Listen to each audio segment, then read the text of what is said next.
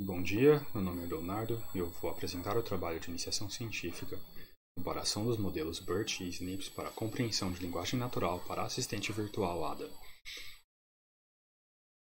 A ADA, assistente distribuída avançada, é uma assistente virtual controlada por voz, assim como a Alexa da Amazon ou a Siri da Apple, está sendo desenvolvida pelo grupo de extensão universitário USP Code Lab. A ADA será capaz de controlar e interagir com dispositivos de IoT, Internet das Coisas, como luzes, portas e outros dispositivos smart.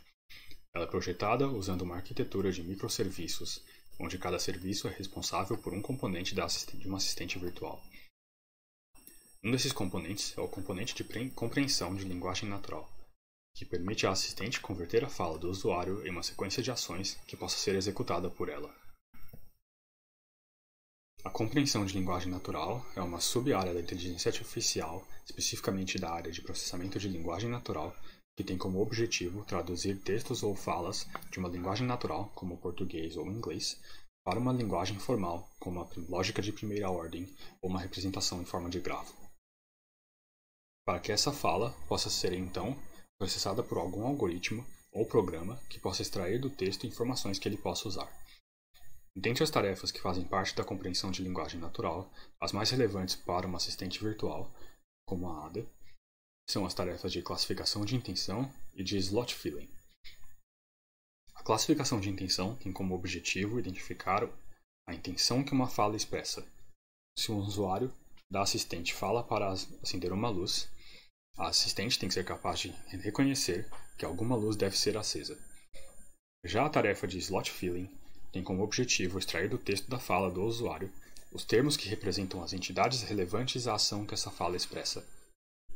Se um usuário pede para acender a luz da sala, a assistente tem que ser capaz de reconhecer que a sala é o lugar onde está a luz, para que ela possa se comunicar com o dispositivo correto.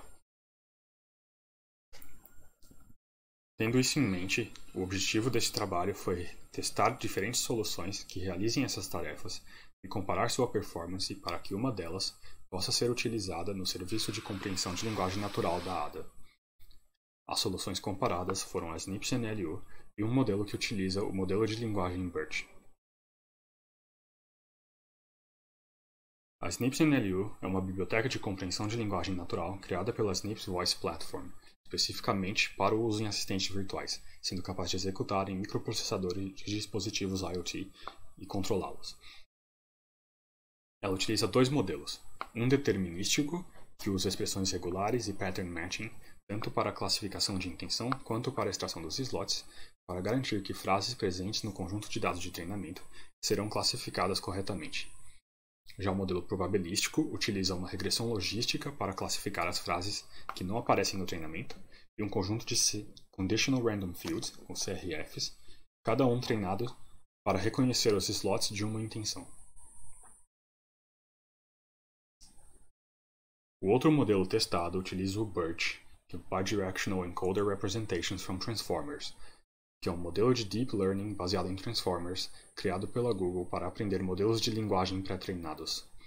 Ele gera uma representação vetorial contextual e bidirecional, ou seja, ele aprende no pré-treinamento representações vetoriais das palavras ou dos tokens do vocabulário dele que levam em conta os contextos em que a palavra aparece, tanto à esquerda quanto à direita, ao contrário de modelos como o GPT da OpenAI, que são unidirecionais e utilizam apenas os tokens à esquerda. Os tokens que o BERT utiliza são gerados pelo algoritmo WordPiece, que quebra as palavras do vocabulário em subpalavras de forma que maximize a probabilidade do dataset de treinamento. Isso também permite que ele identifique melhor palavras complexas que não aparecem no vocabulário dele. Como um exemplo mostrado aqui, a palavra acenda é quebrada em dois tokens separados.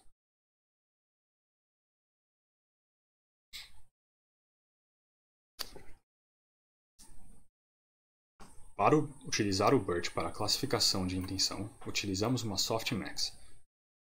Para a slot filling, utilizamos uma CRF, Conditional Random Field, que classifica cada token da entrada levando em conta a classificação do elemento anterior.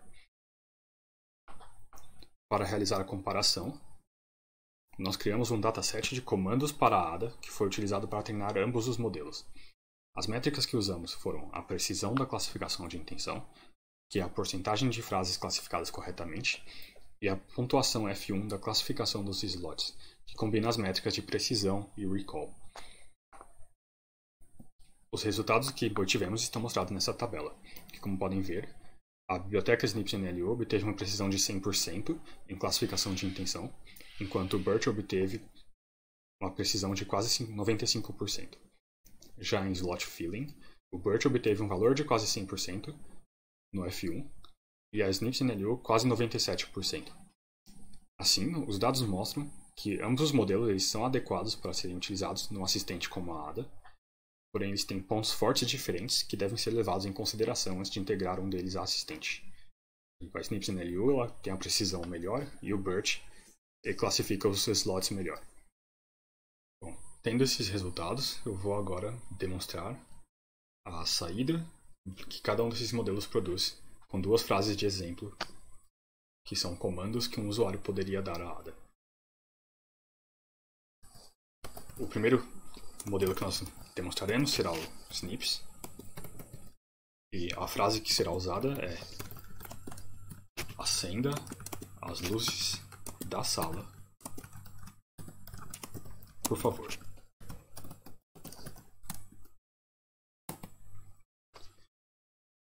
Como podem ver, o Snips conseguiu identificar corretamente que a intenção da fala é acender a luz, que é light on, que o alvo dessa ação são luzes e que a room, o lugar em que essas luzes estão, é a sala. Uma outra frase que nós podemos usar é tranque as gavetas do escritório.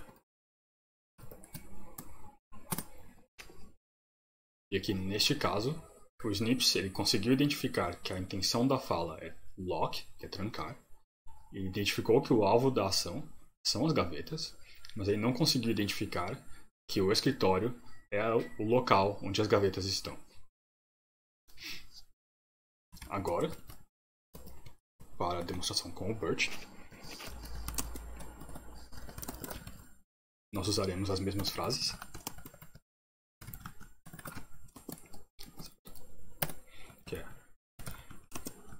Acenda as luzes da sala. Por favor.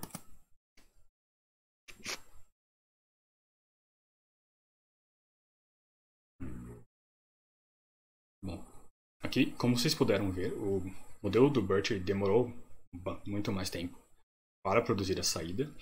E isso se dá porque o modelo do BERT, por ser um modelo de transformador pré-treinado, ele tem milhões de parâmetros que têm que ser carregados antes de poder ser usado. E por isso o tempo de inicialização dele é muito maior do que o do Snips, que contém um modelo menor. Porém, a saída do, do modelo do BERT com esta primeira frase é exatamente igual à do modelo Snips. As luzes devem ser acesas, o alvo é luzes e o lugar é a sala. Com a segunda frase,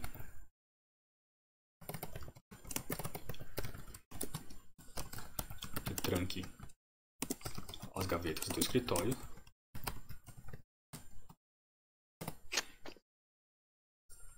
De novo, o Burt, o ele demora para carregar. Só que dessa vez ele produz aqui que a intenção é trancar, no caso o lock.